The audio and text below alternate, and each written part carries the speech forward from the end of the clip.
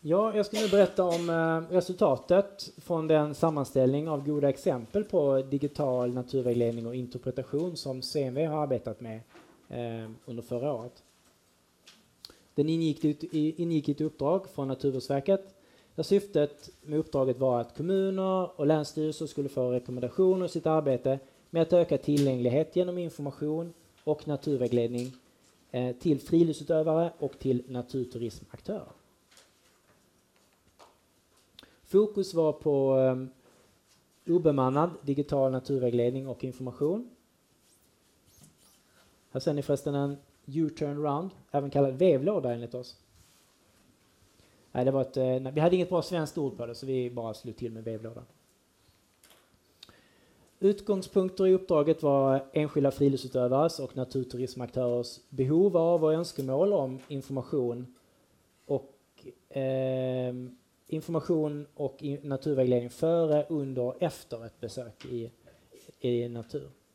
Och i det ingick information om färdsätt till området, aktiviteter, boende, men också mat och allting som, all service som man kan tänka sig runt omkring ett besök. Några av de goda exempel som vi har kommit fram till, de eh, lyfts fram på egna presentationer här idag och imorgon. Så jag kommer tona ner eh, uppmärksamheten på dem i, i min presentation. En viktig aspekt bland de goda exemplen är att skapa en god tillgänglighet till naturen. Och ur den aspekten så ehm, är Örebro kommuns arbete väl värt att lyfta fram. Ehm, vi har lyft fram dem i, i den eh, rapporten vi har skrivit.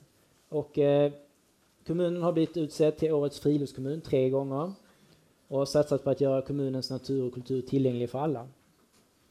Och ett sätt de har gjort det på det är att eh, jobba med en app som heter Natur och eh, kulturguide. Och I den appen så ges personer med olika funktionsvariationer som syn, hörsel och kognitiv nedsättning eh, möjlighet att få guidningar på flera platser i kommunen. Det finns bland annat teckenspråksfilmer, lättlästa texter och bildspråk.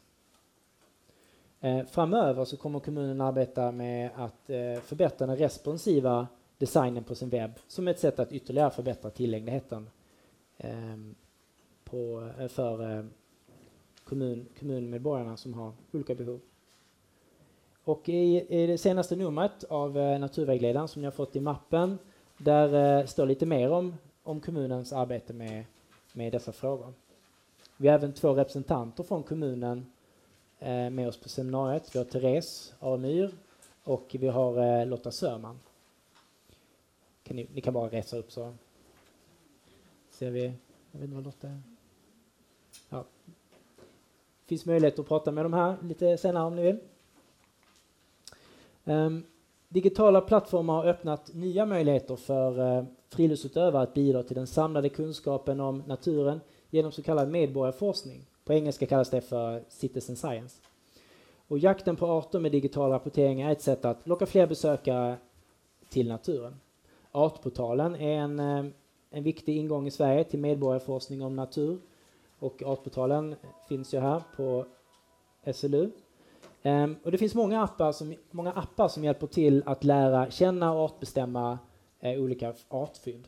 Exempel på det är Grodguiden, men det är också Fågelguiden och Fisknyckeln. Som förvaltare kan man uppmana besökare och eh, andra att eh, observera och registrera arter i naturområdet. Så gör man till exempel i Tyresta nationalpark där besökaren via hemsidan uppmuntras att rapportera arter man har observerat. Här är en skärmdump från, från Tyresta nationalparks hemsida om just det. Ett annat exempel är Svenska fenologinätverkets Naturens kalender där deltagare rapporterar in observationer av årstidsväxlingar i naturen. Ett internationellt exempel är iNaturalist där användare världen över kan ladda upp bilder på djur, växter och svampar eh, som de hittar i naturen och sen så hjälps man åt att artbestämma och det är faktiskt flera olika nya arter som man har, som man har lyckats att, eh, identifiera den vägen. Här är en skärmdump från deras sida. Ett intressant exempel som vi också eh, har en artikel om i nyhetsbrevet eh, där vi även nämner, eh, eller har en intervju om Naturens kalender. Eh, det är Naturcheck som betyder naturkoll.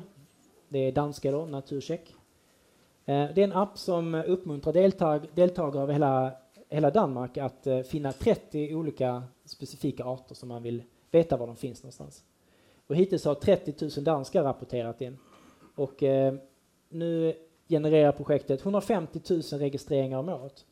Och det är tillräckligt många för att kunna ge en, en statistiskt säkerställd bild av hur läget är med de här arterna i alla kommuner i, i landet.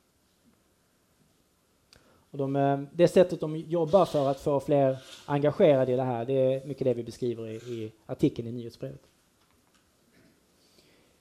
Och här på seminariet har vi också Kjell Bolmgren som jobbar med Naturens kalender. Vi har Anna-Maria Wremt som jobbar med Artportalen.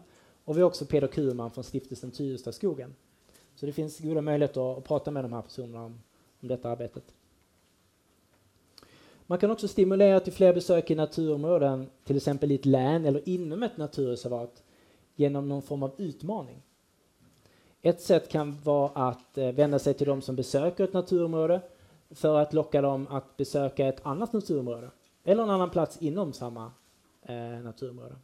Utformningen kan vara enkel. Det kan vara i form av en krysslista. Man kanske ska skriva i en kod eh, som man hittar på platsen man ska till. Eh, men man kan också använda GPS i mobilen för att checka in och visa att man har varit där. Och för att öka motivationen så kan man använda priser.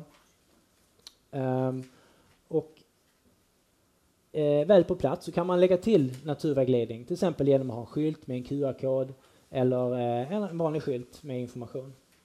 Ehm, den här bilden är från STF, STFs app STF i fjällen som istället för att köpa sig tygmärken vet, som man syr på sin ryggsäck eh, så har de, vill de lansera detta då där man kan checka in och få sin virtuella, virtuella märke. Man kan samla toppar och stugor både sommar och vinter. Uh, nej, det är en app som du checkar in på. Du checkar in via. Ja. Och genom utmaningar kan man också få besökare att testa olika saker, göra olika aktiviteter i ett naturområde. Och ett, ett eh, framgångsrikt exempel är eh, Acadia Quest som eh, bedrivs i Acadia National Park i USA. där ska man i lag testa olika aktiviteter i naturområdet och det har blivit väldigt populärt. Om man ser, om man jämför den här appen, de har en app då som är kopplad till det, om man jämför aktiviteten på den gentemot liknande appar i USA så är den här överlägset mest använd. De är väldigt nöjda med den satsningen. Vi kommer faktiskt ha ett, en föreläsning med, med hon som jobbar med det för just eh, länsstyrelser eh, i februari. Om det är någon utöver det som är intresserad så kontakta mig så ska jag se om ni kan vara med på det. Alltså det är en, eh, ett webbinarium. Med geocaching eller skattjakt med GPS kan man både locka till besök och också eh, eh bedriva naturvägledning. Eh, det finns flera exempel på leder och skyddad natur där geocaching ingår i naturvägledning. Ett, eh, sådant exempel är Linnéstigarna i Uppsala som har funnits i några år nu men som jag tycker fortfarande är värt att lyfta fram. Och där får eh, vandrarna svara på frågor och fylla i svar på en skattkarta. Tips på, svaren, tips på svaren samt mer information det får man bland annat genom att ringa till Linné via telefonnummer och höra han prata.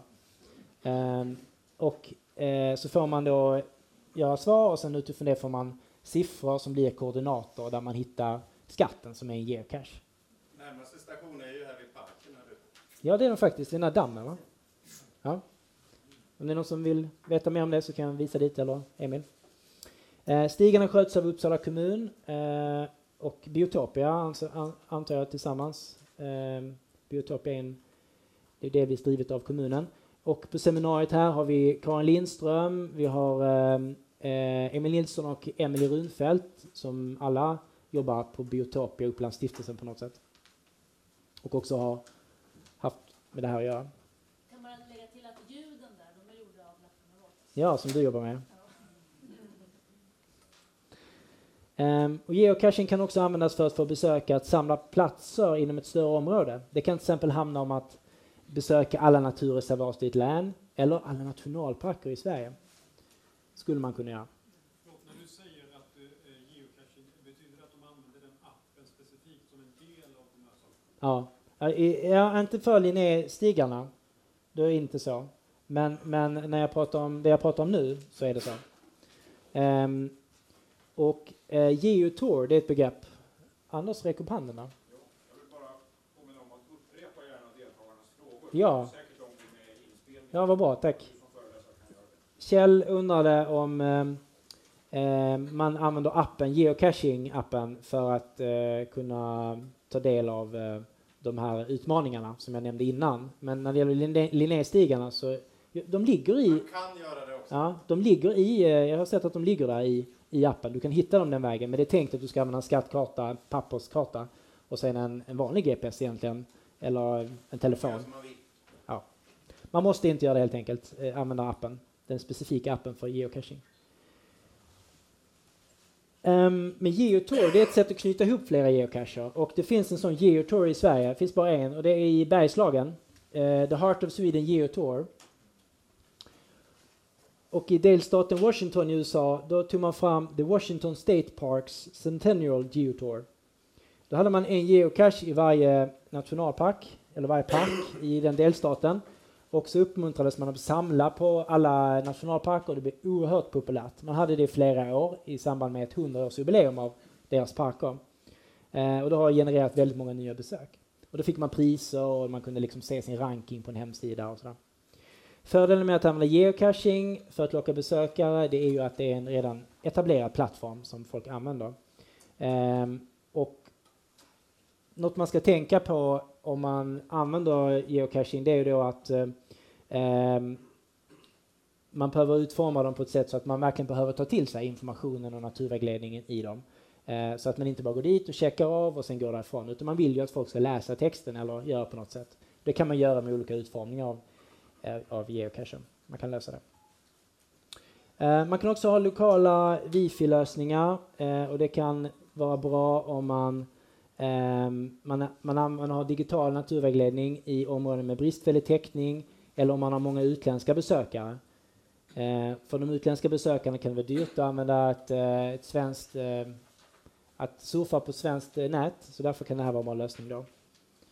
Och via en wifi-punkt kan man eh, be dem ladda ner information eller en app eller man kan ge dem olika sorts förutsättningar för att ta till sig den informationen och naturvägledningen som man har presenterat.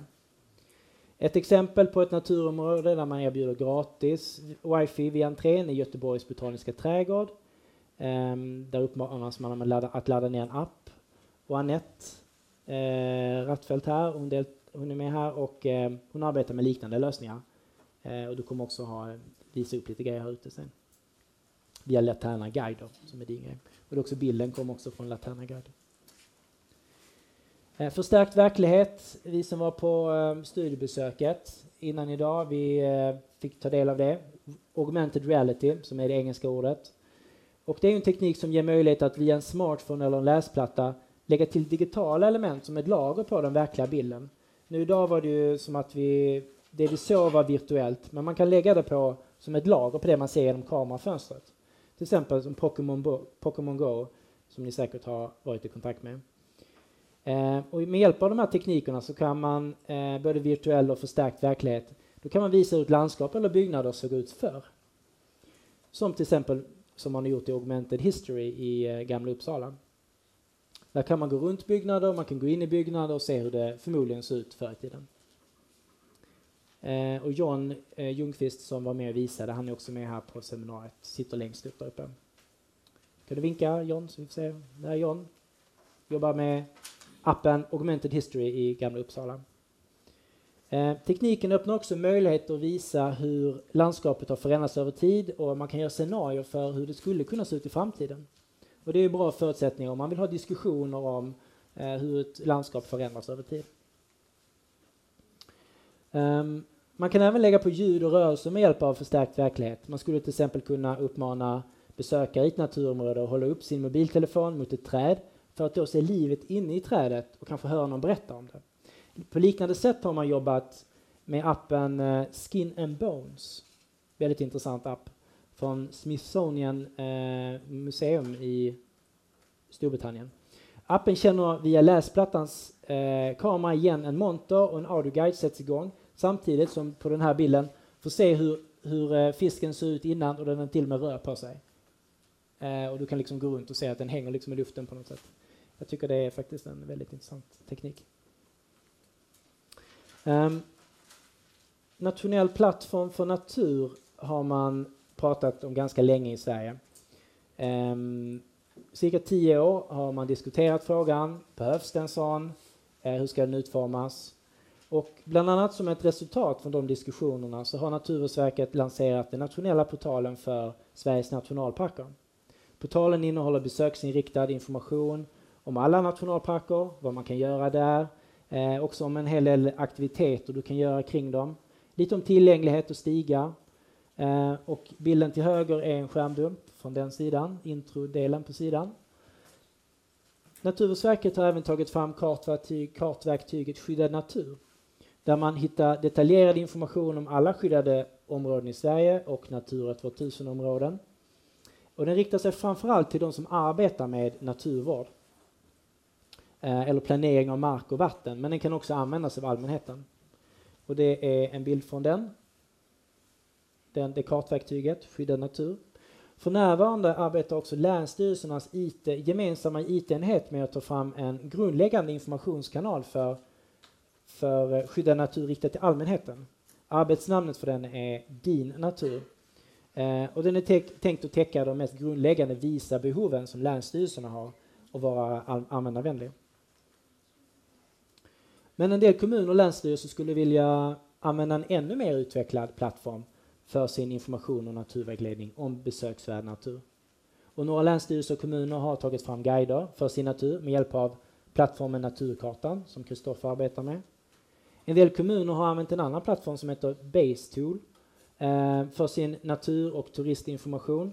Eh, och både Naturkartan och Basetool har har planer för att eh, lansera nationella lösningar för natur och friluftsliv.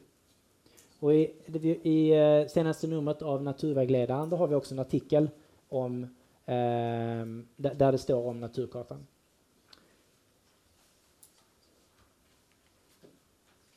Om vi blickar österut så finns det ett gott exempel att lära sig från och det är eh, när det gäller nationell plattform för natur och det är eh, från Finland. Eh, Eh, och Utflyktskartan är intressanta plattformar. Eh, huvudman för dem är Forsstyrelsen, alltså Metsähallitus. Och vi har ehm, är det bara Karina eller var det fler från Forsstyrelsen? Är du också? Ja. Vi har två stycken från Forsstyrelsen här som är med på seminariet. Um, kan ni bara ställa upp? Det kan vara intressant. Ni som är från Forsstyrelsen. Tre stycken till och med. Ja, precis. Tack. Och något som är intressant med den det är att eh, den finns på flera språk eh, finska, svenska och engelska. Eh, men tillsammans täcker de in all, all tänkbar besöksvärd natur i Finland som Forststyrelsen har hand om. Och det är en väldigt bred eh, palett av eh, områden. Det är alla skyddade områden, men det är också jakt och fiskeställen, fritidsområden, eh, vildmarksområden i Lappland, eh, historiska objekt, rutter, leder. Eh, och sen kan man också sortera. Eh, man kan sortera eh, sina sin ingång utifrån eh, en lista som man kan kryssa i och då liksom syns mindre eller mer beroende på vad man väljer för någonting. Eh, vad man är intresserad av. Det gör man när man går in på kartan direkt. Um, vilket gör att den blir lättanvänd. Och sen har de också en koppling till um, företag som de rekommenderar att man anlitar kring olika aktiviteter i områdena. Som har sållats fram utifrån uh, något som kallas för principer för hållbar naturturism. Um,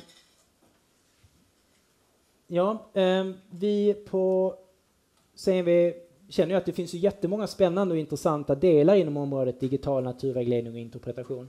Eh, det är lätt att tänka som kommun, länsstyrelse och förening och företag att wow, det här ska vi satsa på, det här verkar ju jättekul. Så, sånt vill, vill vi också ha. Men i den här ivern så vill vi bidra med några allmänna råd.